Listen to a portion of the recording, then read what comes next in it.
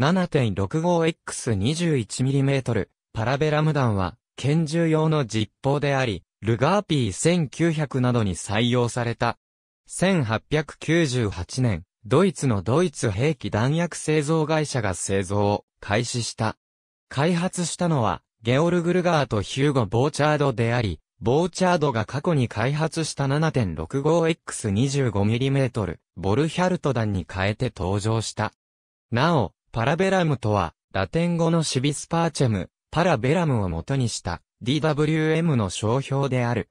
7.65mm ブローニング弾や 7.65mm フレンチロング弾と混同しやすく、注意が必要である。DWM 社のゲオルクルガーは、従来の同直径 7.65mm 弾を改良してこの弾薬を作った。従来の 7.65X25mm ボルヒャルト弾や 7.63X25mm マウザー弾よりも全長が短く、7.62X25mm トカレフ弾と同長である。重量 6g、ボトルネック型のフルメタルジャケット弾で、薬莢にリムがついていない。FMJ を使用した場合、初速は秒速365メートルで、弾道特性に優れ、反動も小さいが、その代わり威力は弱い。スイス陸軍のパラベラム拳銃で使うと、非常に正確に撃てる。スイス陸軍 7.65mm パラベラムの外箱ドイツ陸軍は 7.65X21mm パラベラムの威力があまりに弱いため 9X19mm パラベラム弾と置き換えた。両弾のサイズは弾頭部分を除いて、ほとんど同じなので、重心を入れ替えるだけで使用可能である。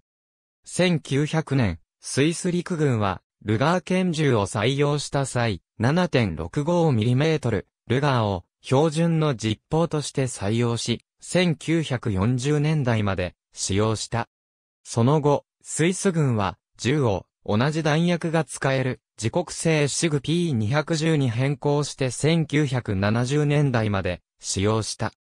1922年、フィンランドは 7.65mm ルガー拳銃を採用し、8000丁を装備したが、7.65mm のまま使用されたのはわずかであり、大半は 9mm に改良して使用された。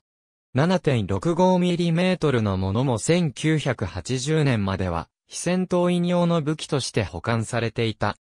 7.65mm ルガー弾は民間向けの拳銃の弾薬としても使用された。イタリアのベネリ B80、ベルギーの FN ブローニングハイパワー、アメリカのスタームルガー P89 などである。短期間銃でこの弾薬を使う機種もある。シグベルグマン1920、スイス M、ネウハウセン、MKMS、オーストリアステル MP34、フィンランドスオミ M-26 などである。ありがとうございます。